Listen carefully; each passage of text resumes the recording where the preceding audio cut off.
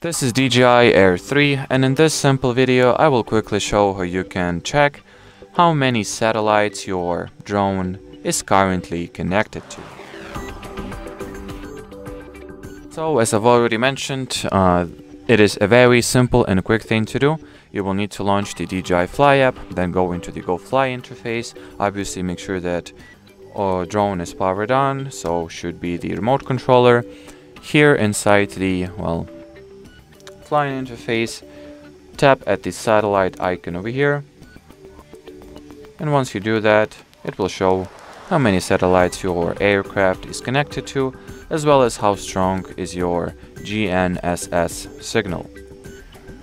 And well, as far as this video goes, that'll be it. So thanks for watching and bye bye.